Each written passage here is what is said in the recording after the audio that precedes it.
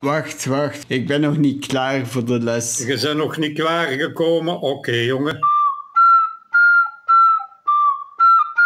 Dokter, waarom hebt jij Sabina laten crashen? Ik heb Sabina niet laten crashen, want ik zit niet in de stuurcabine van Sabina. Maar Sabina, dat waren allemaal dikke nekken. Dat was een staat in een staat. Een beetje zoals de Belgische spoorwegen, die allemaal ook een dikke nek hadden. En wel Sabina, die hadden nog een dikkere nek. Ze konden allemaal vogelen en ze dachten dat ze konden vliegen. Er waren maar enkele vliegtuigen, maar er waren geweldig veel profiteurs. Ik denk een twintigduizendtal. En die deden reisjes en feestjes. En het was plezant en het was nog plezanter. Ja, het was zo. Het was een staat in de staat, boven de staat. De staat was de hoofdaandeelhouder. Het is begonnen in 1923, toen België 80 keren groter was. Want wij hadden de Congo, de Congo Belge. Wie zijn wij? Dat waren de Belgen. Ah, Ik niet. ik ook niet. Ik beschouw mij niet als Belg. Dat waren de Belgen, een land waar onze vlag staat geplant. Naar wijd en zijd. We moesten dat op school zingen. Hè? De Belgen die leefden in een roes. Zij hadden een grondgebied 80 keren zo groot als België, waar er uranium was. Dat was een van de rijkste streken van de wereld. En het is naar hun kopje gestegen. Hè? En ze dachten, dat gaat nooit eindigen. Maar in 60 was er dan l'independance.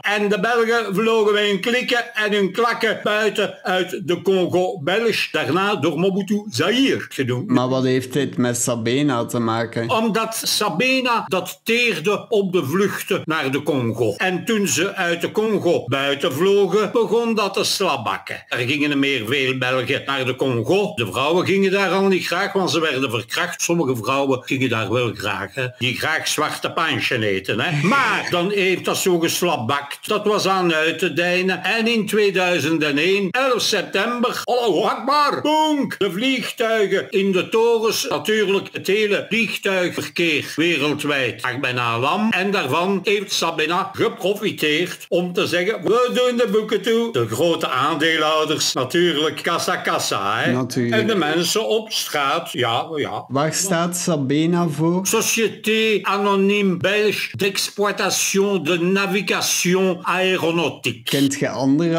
acroniemen? Eh, Seks aan boord en nergens anders. Ah ja, such a bad experience never again. Dat werd zo gezegd omdat de klanten, dat was niet belangrijk voor Sabena. Voor Sabena was het belangrijk dat hun eigen personeel, hun directeurs, hun directrices, dat die allemaal met aerostesjes konden flikvlooien. Ze konden vliegen en ze konden soms ook een keer vogelen. En in de stuurcabine, ik weet niet hoe dat ze dat deden. De cockpit. Op 20.000 meter hoogte, dat Ah. ze dan niks hadden. De Mile High Club. Oh, ze zaten daar allemaal in. En de champagne bloeide rijkelijk en ze trokken zich eigenlijk niks aan van hun klanten die hun vluchten betaalden. Dat was één groot profitariaat. En nu zeggen ze, oh, het is twintig jaar geleden en we nu spreken we nog altijd over die goede oude tijd. En natuurlijk, ze deden bijna geen klop. Het was altijd Jesta, Jesta. Allemaal op kosten van de Belgische belastingsbetaler. En daar is een einde aangekomen in 2001. Ik denk in november, 6 of 7 november. Zeven. En wie was er daardoor het meest getroffen? Dat was niet het lagerpersoneel, want die die de vliegtuigen uitkuisten, die konden andere vliegtuigen gaan uitkuisen. De mechaniciens, die konden andere vliegtuigen onderhouden. Het waren vooral de profiteurs die geen klop deden. Je hebt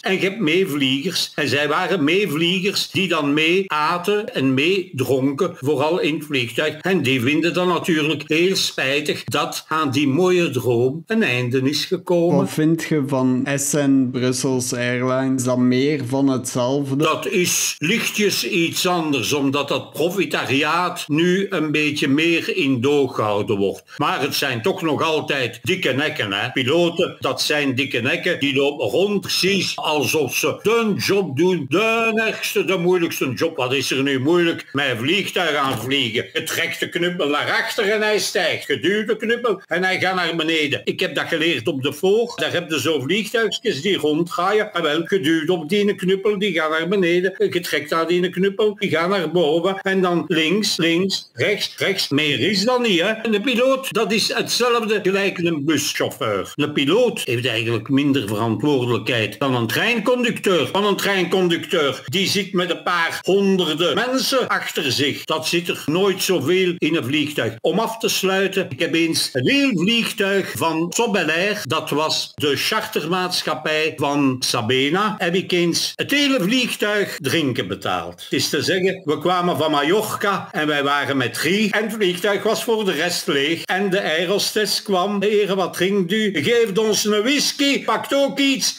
de piloten ook iets. En die piloten waren zo content en die hebben gezegd, die mens die ons getrakteerd heeft, die mag in de stuurcabine komen, in de cockpit. En ik ben naar de cockpit gegaan en zij hebben mij daar al die knoppetjes laten zien, maar ik had het toch een beetje gedronken en toen ik op de knopjes begon te duwen, hebben ze mij buiten gegooid. Maar toen waren ze al bezig aan het landen en ze vonden dat toch niet gepast. Maar ik had ik even goed dat vliegtuig naar de grond kunnen brengen. In welke toestand het vliegtuig zou geëindigd zijn, daar ga ik mij niet over uitspreken. Maar dit terzijde. En ik dank u wel dat u naar deze waargebeurde zeden geluisterd hebt. Ik dank u voor deze les. De volgende keer leren we u wat prosopagnosie is. Is dat niet dat je geen gezichten herkent? Ja, dat is het. Ja, maar ja, zeg, jij denkt zeker dat ik dokter ben geworden.